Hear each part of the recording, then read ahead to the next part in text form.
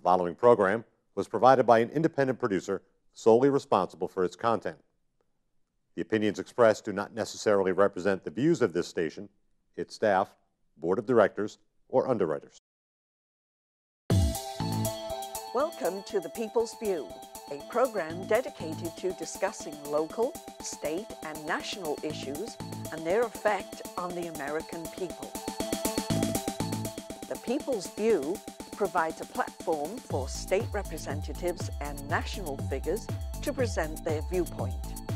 Whether it's social, economic, or financial topics, you'll hear it on The People's View.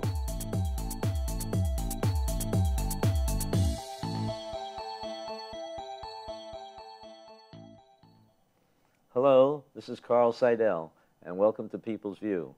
Don't forget that People's View is sponsored by the Nashua Republican City Committee, and you can find out a lot more about our activities on the website, nashuagop.org. And uh, the organization meets the second Thursday of every month, except for July and August. And we have a stakeout on uh, August 16th with Allen West as our guest speaker. But today we have Jennifer Horn, who is the uh, GOP chairman for the uh, state. And Jennifer, welcome aboard. Thank you very much. Nice to be back. Yes. And uh, what can you tell us now that you had a few months now? Uh, what can the, I tell you? In your, in your office about the situation of the GOP in New Hampshire and what you're looking forward to doing? Sure. The GOP New Hampshire is alive and well. They're mm -hmm. thriving, growing. Uh, we've had a, a, the entire Republican Party, I think, has had a very successful mm -hmm. first six months of the year. Uh, we've seen a number of successes in the State House, uh, especially uh, you know out of the hands of our leadership in the in the Senate. They've done a great job there. Uh, the party itself is growing and thriving. We've actually started a number of new town committees already this mm. year. Had a, a, very successful event with Senator Rand Paul mm -hmm. and Chairman Reince Priebus. They were in town in May. It's across the spectrum. I, the, the, the, Republican Party is alive and well. Good, good. Well, happy to hear that. Uh, can you tell us about any of your uh, plans uh, coming up this fall? Sure, coming up in the fall. Okay. I can't I can't leak anything that's coming up in the fall All yet. Uh, but I can tell you that we'll be spending the summer uh, just as diligently tracking the -huh. missteps and mismanagement uh, that we've seen coming out of the governor's office in the first few months of her term. And we're very interested to um, have the opportunity to speak to our federal delegates uh, Congresswoman Shea Porter, Congresswoman Custer, and Senator Shaheen in August when they hopefully come home and spend some time with their constituents mm -hmm. during the summer recess in Washington. Uh, I know there's a lot going on in the Nashua Republican City Committee. You guys have a big stakeout coming up. Mm -hmm. the, a, a, number, a number of events uh, that'll be coming up in this, throughout the summer and, and into the fall. But I, I hate to tip my hand uh, too far ahead. Okay. Well, you've been having a lot of communications coming out of your office, a sure. lot more than uh, previous years, and uh, uh, the activity I think you're pinpointing is that uh, you know people on the uh, on the Democratic side aren't uh, doing their job completely. Well, I, would say that's an understatement, at least if you're talking about the budget. Mm -hmm. you know, Governor Hassan, we've been following closely the entire process, obviously and her initial um, announcement uh, of her, you know, her budget proposal, her budget plan back at the beginning of the session was, to be perfectly honest, a, a huge disappointment. Mm -hmm. I know folks have been following it. It's been well covered by the media in the state. She offered a budget that was a, a balanced, I say in quote mark, you know, because it wasn't actually a balanced budget, uh, but balanced it on $80 million of non-existent casino fees. Mm -hmm. She was relying on fees from an industry that at that time was illegal in New Hampshire, and here we are all these months later, and it's still mm-hmm. illegal in New Hampshire. Mm-hmm.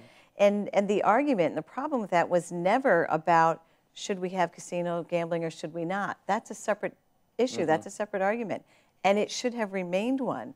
What was so irresponsible was that she wanted to balance the budget going into the next two years on these you know, non-existent fees, um, essentially taking pretend money to fund real mm-hmm. programs. Mm-hmm. So that unfortunately set her up and set the state up for a difficult budget process. Um, you know, we've been up and down. The, it, it was, to, to be completely honest, the proposal that she gave us was so bad, her own party rejected it. Mm -hmm. You mm-hmm. know, Uh, the Democrats in the House came up with their own budget, which was maybe better than hers, but unfortunately still spent uh, and taxed way too much. I mean, the, the Democrat gas tax uh, almost came to be. If it wasn't for the Senate Republicans, we would have had a significant increase in the gas tax in our state, uh, and a number of others as well. But um, as the pr- budget goes through the process, it ends up in the hands of the Senate. And luckily, the Republicans still have uh, the majority in the Senate, and they were able to um, get the budget back on track.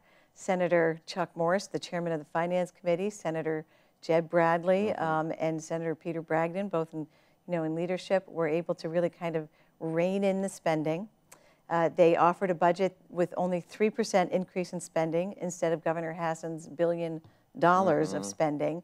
The House Democrats offered 10.2% increase in spending, um, and the Republicans were able to pull it back to 3%, while at the same time increasing funding to important health and human services programs, um, restoring funding to important college scholarship programs. Uh, they did a really good job. And uh, in the final hours in the committee of conference, working closely with a couple of the folks in the House, uh, were able to offer what we think is a strong, reasonable, fiscally responsible budget. And the governor luckily signed it into law. And uh, the current year's budget is finishing with a slight surplus. that Finishing with a surplus.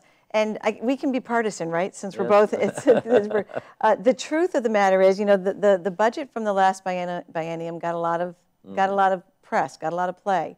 Uh, and in the end, what we found were that the, the Republican majority actually uh, gave us a budget that covered the costs, that ran the, the, uh, ran the state efficiently. And, uh, you know, unfortunately, they were forced because of re- truly irresponsible spending in a previous Democratic majority. They were forced to make some tough cuts. But here we are now, out ahead of the game, and able uh, to offer, you know, to, uh, able to start to refund some of the, those more, more critical programs, um, and to be able to move forward in a fiscally stable position, which we were not in, unfortunately, before that.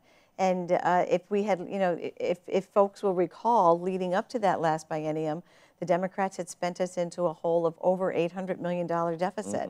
So the last budget got us out of that, and this budget now allows us to move forward in a stable manner that doesn't overspend, that's not going to lead to another big, um, you know, fiscal collapse in the budget. And two years from now, hopefully, we'll come out a little bit ahead again.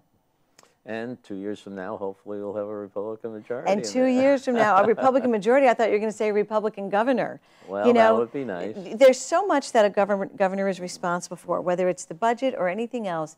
But what we expect from our governors at the core is is honesty, integrity, and leadership, real leadership. And unfortunately, Governor Hassan has failed the test of leadership in this first process. Mm-hmm. Probably the most important thing that she has to do is offer a fully balanced budget. Um, and they make this argument that, oh, the, the governor offering her proposal is just the first step. Of course, it's going to go through the House, it's going to go through the Senate. No. yes, it's got to go through the House and the Senate to be approved, but it was her job right. to make the budget and to have it be balanced, to have it be responsible. So it's unfortunate that we had to go through this difficult process. It's unfortunate that um, you know members of the House and the Senate were forced to be on different sides of, of a difficult situation. Um, had the governor done her job to begin with, that wouldn't have happened. And I don't see any signs of the second part of I, I, I would consider the uh, important parts of her job is organizing the administration of implementing all these new laws and, imp- and running a very cost-effective uh, operation. I think uh, some of the agencies up there need to be looked at and see how they can be much more effective by uh, doing things for their customers, the voters Right. of New Hampshire. Well, it would be nice. It would be nice if all governments, all state governments, and, and the federal government took a more customer service type of approach to things. You know, a more customer-friendly approach. I know that the Republicans were starting down that path and trying to uh, implement some efficiencies. You know, in the last biennium, um, it- it's difficult to implement our vision of a responsible, fiscally sound, efficient government when you're in the minority in, in the places that we are. But I have to say, I think that the Senate Republicans have honestly done um, an just an extraordinary job, not just on the budget, but on pushing back against and not allowing some of the damage that the House Democrats and the governor wanted to, you know, wanted to implement. Now that they had at least a good piece of the majority, Um, one of the biggest ones that was, I just, for me, I guess the most distressing, one of the most distressing ones that they wanted to, uh, to do, changes they wanted to make was to repeal the scholarship tax credit. Um, and this is, you know, this was a program that, uh, I always say that, that this was a program that finally opened the door to education equality in our state. You know, many of our families choose to take their children out of the public school and put them in a, an education setting that is more appropriate for that child. And they're able to do that. They, they want to make that choice and they have the financial resources to do it. So many of our families who would like to take their children and bring them to a more appropriate educational uh, environment aren't able to do that. So the Republicans last time around set up this great program, fully funded by private entities, not taking, uh, you know, not taking state money, and uh, you know has essentially opened the door for all families in New Hampshire now to try to you know have that choice. The governor made it a priority to repeal that law mm-hmm. before it was even implemented, uh, and she built it into her budget, which you know shows the the level of priority she gave it. Now, luckily, the Senate was able to stop that. They, they were able to block the repeal effort, even though it made it through the House. But now that it's passed, it really make, has to make us question what Governor Hassan's priorities are mm-hmm. and, and why. Uh, of all the things that she could have focused on, why would she want to go after uh, an education bill that made bet great education available to more Better kids? choice, It yeah. makes it, it makes no sense to me. So, but the, the Senate was able to block that. They were able to block a number of repeal efforts. Um, I think it's bad government. I think it's bad leadership uh, if every time um, you know the, the House or the Senate switches hands, their first priority is simply to repeal everything the previous previous major, majority did. Uh, you know, we expect them to come in and bring their ideas to the table and show leadership and, and have the debate on what they think is important, not just try to you know you know scorched earth policy, And, get and rid of education everything. was one of the things they picked on, that, that, that wasn't. on- uh, in a number of ways, you're right. yeah. The unique scholarship, uh, um, pr- the unique program, which uh, you know offered um, Mm-hmm. higher education dollars to needy students as Right. well who want to go on to college. Um, there were there were a number. Um, uh, putting a placing a moratorium on school on school schools, building yeah. aid uh, and charter school funding, um, and and the Senate budget luckily not only uh, returned the funding to charter schools, but I believe included funding uh, to start additional charter schools. I I think think for four, four. yeah. And you know, th- gosh, you would think that making sure that education and education opportunity was expanding in our state, mm-hmm. that would be something we can agree on. You would think at least that, and and that's something that you know, kind of traditionally Democrats have picked on Republicans for. Well, here we have a Republican Party in our state that embraces education mm-hmm. equality and wants to expand mm-hmm. education choice. And it's you know the knee-jerk reaction on the other side is to say, oh, there, it must be there must be something bad about it.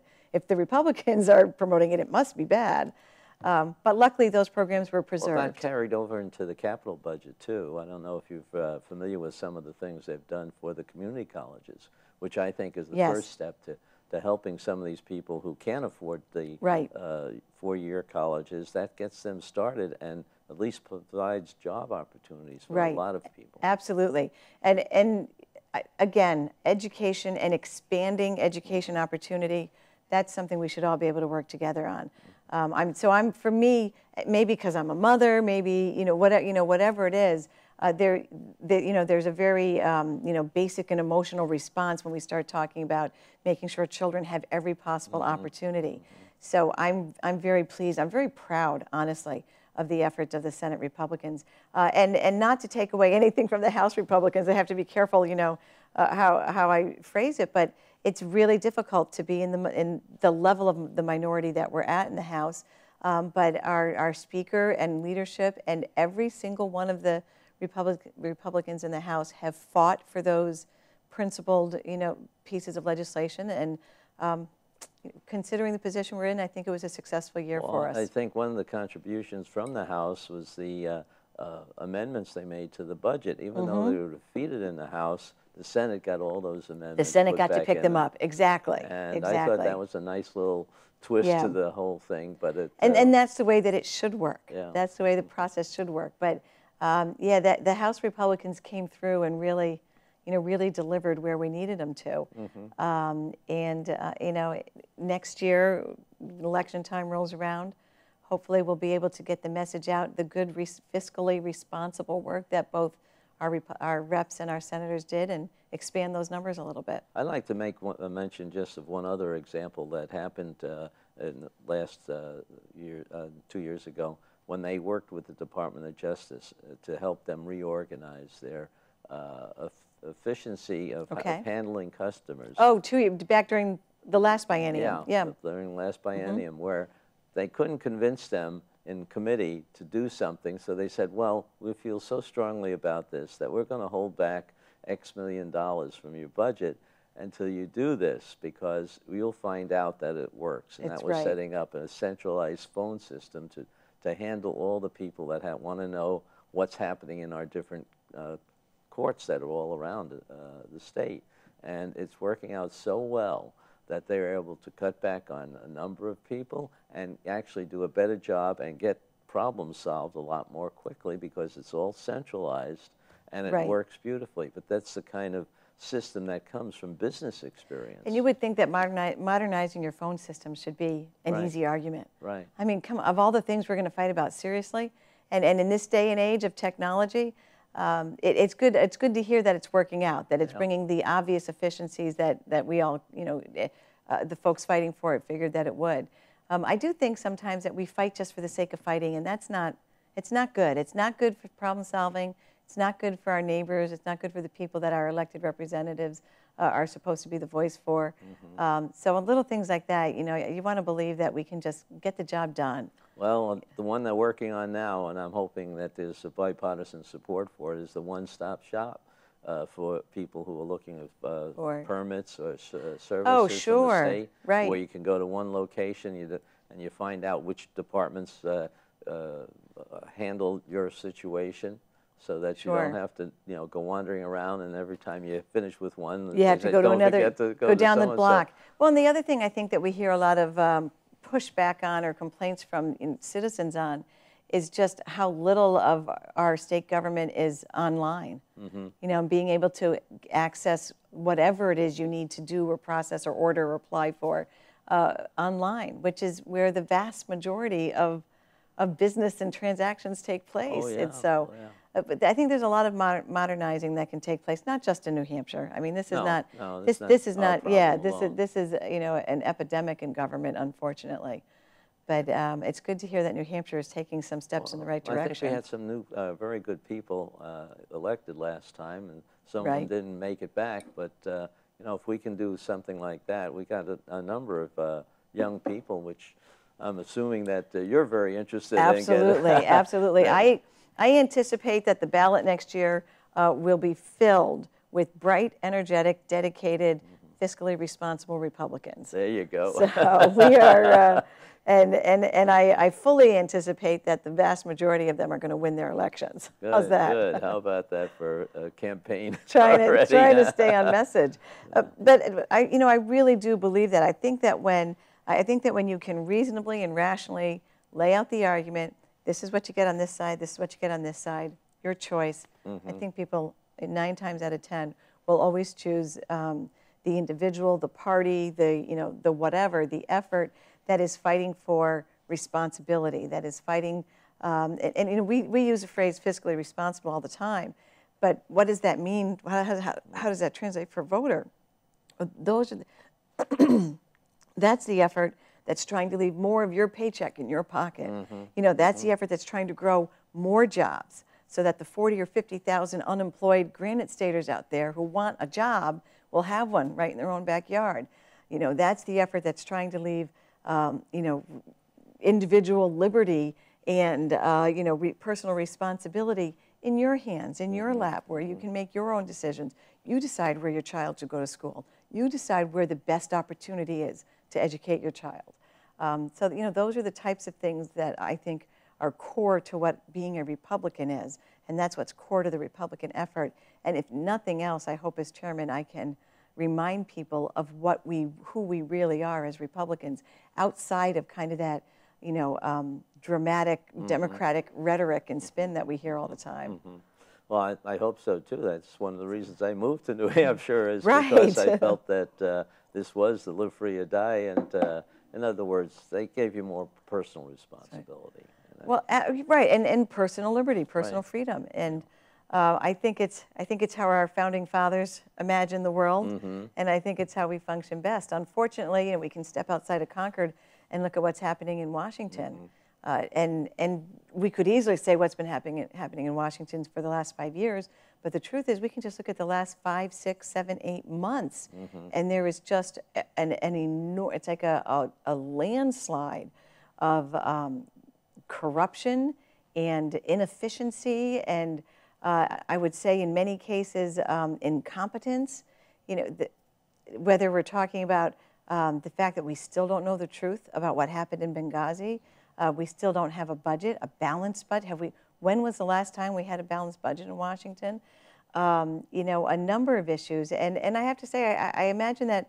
Uh, even though we feel very affectionately towards Senator Ayotte here in Nashua, because she is our hometown girl, I think folks across the state are probably looking at how hard she's working on so many of these issues, so many of these pocketbook issues, and uh, these integrity issues. You know, when it comes, whether it's Benghazi or, um, you know, trying to bring terrorists into the United States for for trials and things like that. She's been working awfully hard, and um, I think people are seeing it and appreciating it. Yeah, I think so. I think there's there's lack of transparency too. I mean, whenever there's a problem, oh, we're having it under investigation. We're investigating. We can't talk about it because And it's and where's well, where's the results of the investigation? oh, now well, it's old hat. Don't get Yeah, me. Well, you know, I worry sometimes, and I worry sometimes that we have be that we have been exposed to so much that is bad in Washington that once kind of the you know that once it hits its peak in the media coverage, it goes downhill, and we all forget that it's there, that it's still unresolved.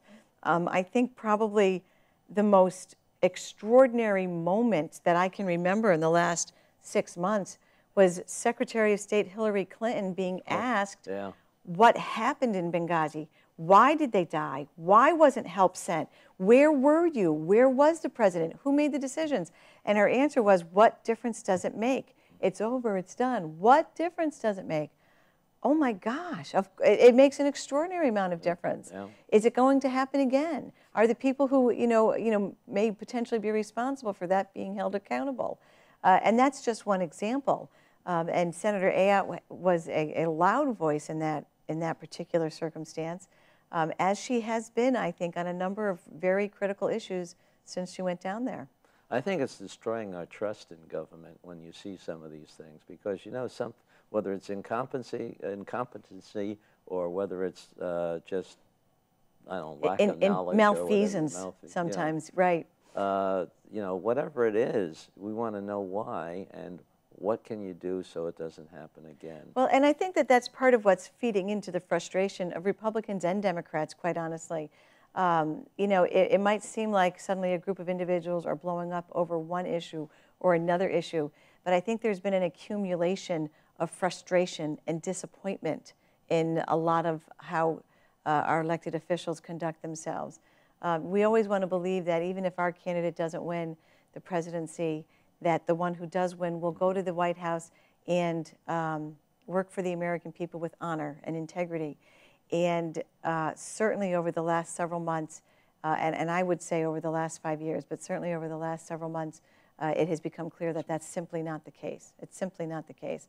And, and even, even, uh, even you know, the most, the most partisan of Democrats are finding it difficult to defend the president today and, um, and to try to make the argument for him. In fact, a lot of them are starting to already make the argument for uh, the next Democratic administration, you know, that they imagine, and trying to get past this one as well.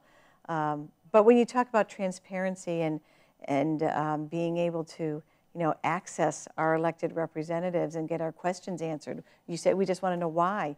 Um, I think that that's an issue where, again, we see a very clear distinction between the way our, here in, in New Hampshire at least, between the way that our Democratic elected federal representatives deal with us and the way our Republican elected uh, senator deals with us.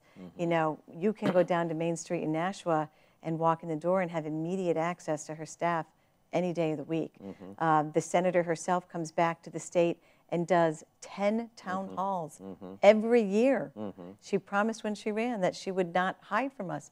10 town halls a year, every county, every year. um, and is home. You know, I, th- I would guess probably 99% of the weekends um, since she's been in office. You know, not just home with her family, but home That's with right, us.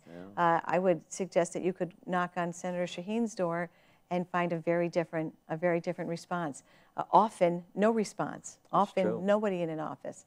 Um, when was the last time she did uh, a town hall, much less multiple town halls? Where has she been for the last six years? Uh, I, you know, she's been something of a wallflower in the Senate, and I don't think that that's a good thing. You know, she, No. we sent her to fight. We sent her to speak up for us.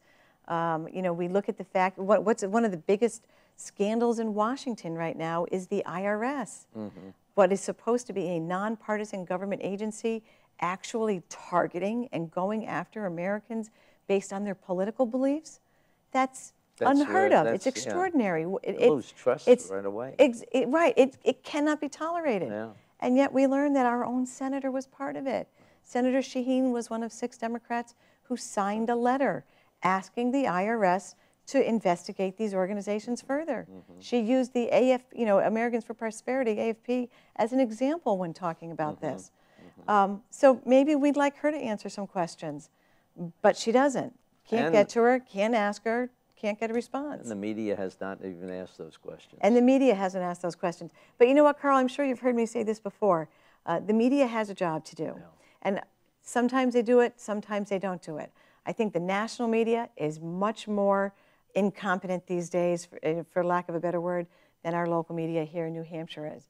But as citizens of a, you know, uh, a a free uh, and, and, you know, democratic republic nation, it's our responsibility to make sure that those questions get answered. You, we, we can't rely on the media. We're not supposed to have to Mm-hmm. Rely have to on the media. keep these issues alive. So Absolutely. And we've got to stand up and make our own voices heard. Yeah, and the IRS is going to be uh, in, in charge of implementing some of the Obamacare. And how Oh, sure. going to do that? That is the way the law was written, that the Yeah. IRS was going to be part of it. They're hiring 20,000 more people So- just to do that. Well, and let's not forget that the uh, most recent implementation through Obamacare is the doubling of student loan rates. Right. Uh, we it just just just yesterday, as a matter of fact, July 1st, I think, became a lot more expensive to go to college in they this couldn't country. come up with something that Ag- keeps it lower. Again, I thought we could all agree on the idea that we want education to be accessible That's to more people, not fewer. Uh, and it just became twice as expensive to get a loan to go to college in our excuse when country. they took it over in the beginning So- that they were going to save money for the, somehow this was going to somehow this was going to Yeah. save us. Listen I, I don't even want to hear that anymore. Everything they do you know they come up with a way to manipulate the numbers and say look it's going to decrease the, Yeah, right. the deficit. It's going to save us a trillion dollars here a trillion dollars there and here we are at over 16 trillion dollars And that was that was going to So- pay for some of these uh, exorbitant uh, programs. Well, the idea is that it's it- the somehow I, I don't know we're still stuck in that maze. Somehow Obamacare is going to save us money. Mm-hmm. It's not working out for businesses across the country who are all you know doing everything they can to avoid having to be drawn into it, who are um, decre- cutting hours, who are letting people go, losing people losing their jobs directly Mm-hmm. because of the expense of implementing Obamacare.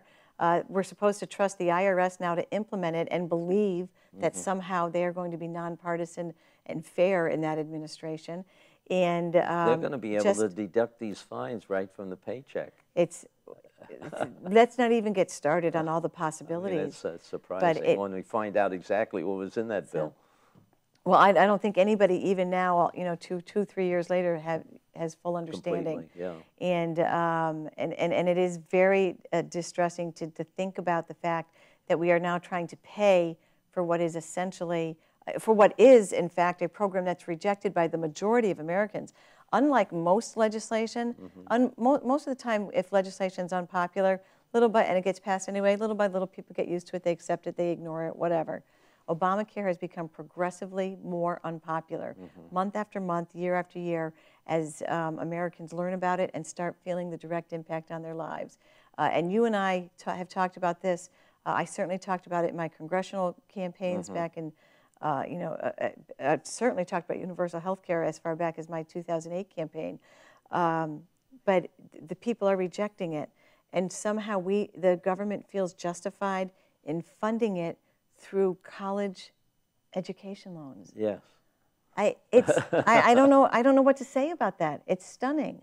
It's well, stunning. The other thing the young people are going to get hurt with is the increases in the, that what they pay in health insurance to cover Right. the older people because they're Right. They're trying Once to they it- finally hit the age of 26 yeah. and have to pay for their own health insurance. They're gonna be um, and, and that's going to be a struggle for a lot of those young people because what we see right now is that over 50% of college graduates are either unemployed or not employed in their field of study. and may have a so lot of student loans underemployed to pay and off, have a lot of student loans to pay off. Uh, those kids that are heading off to school starting this fall are, are going to have a much harder time making those payments. Well, Jennifer, we're going to have to have you back again. We've got a whole lot of things to talk about. Well, I always but enjoy we've it. run out of time again, and uh, I really appreciate you coming out and uh, giving us uh, your perspective on this whole. Thank you uh, very much. It's my pleasure, and I look forward to seeing you at the Nashua Republican City Committee stakeout on August 14th. There you go. No, August 16th. August 16th. August It's a Friday. That's and right. Allen West is going to be our speaker. Thanks so much, Thank Carl. you very much. And thank you for listening in. This is sponsored by the Nashua Republican City Committee. Go to nashuagop.org to find out more about us. Thank you.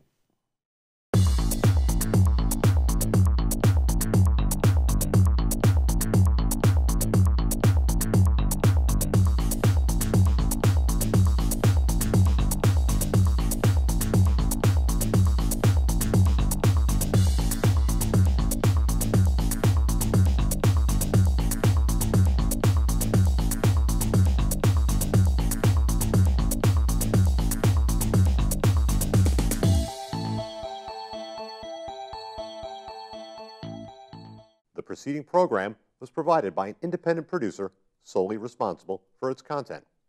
The opinions expressed do not necessarily represent the views of this station, its staff, board of directors, or underwriters.